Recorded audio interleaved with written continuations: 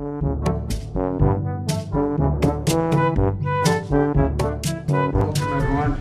Delighted to have the Chancellor here today, uh, Chancellor Scholz. Uh, we've met before, but this is the first time. I think we're both in the way.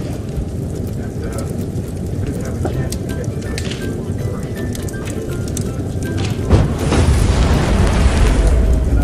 Know, the obvious.